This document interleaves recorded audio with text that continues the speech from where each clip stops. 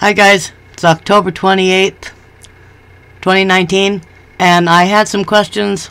I'm sure by now everybody's already heard about the uh, taking down of uh, al-Bakr al-Baghdadi or whatever his name was.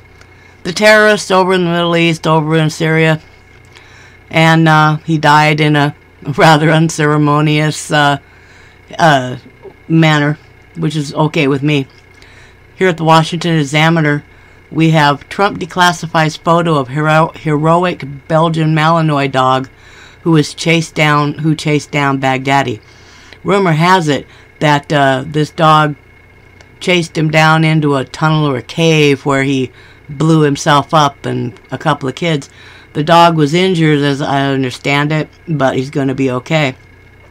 It says here that the president shared an image of the military dog involved in the U.S. operation in Syria that led to the death of Islamic State leader Abu Bakr Baker al Baghdadi. I don't even care if I mispronounce that. We've declassified a picture of the wonderful dog, but they're keeping his name classified. They did such a great job in capturing and killing the leader of ISIS the president said Monday on Twitter, just hours after General Mark Milley, chairman of the Joint Chiefs of Staff, said the name, image, and details of the dog would continue to be withheld as the dog was still in active service.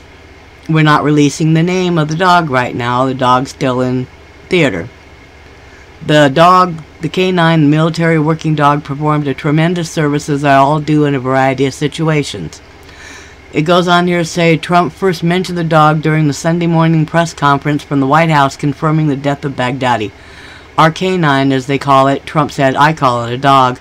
A beautiful dog, a talented dog, was injured and brought back. Though the dog's name is not confirmed, multiple sources of the DoD have indicated the pup's name is Conan. Conan the Barbarian Killer. I like that. That really sounds that sounds tuneful. The dog is a war veteran and a valued member of the team, a Delta Force soldier told the Washington Examiner. Everyone involved in the mission is being debriefed and is out of communication for the time being. The soldier said the injury to the dog is an injury to one of us. The injury to the dog is an injury to one of us. These dogs are a special breed of courageous. Conan the Barbarian Killer. And there is a picture of him. It's in the it's in the uh, uh, thumbprint the thumbnail for this uh, video. So, October 28, 2019, we've been rid of one filthy, disgusting, cowardly terrorist. Next.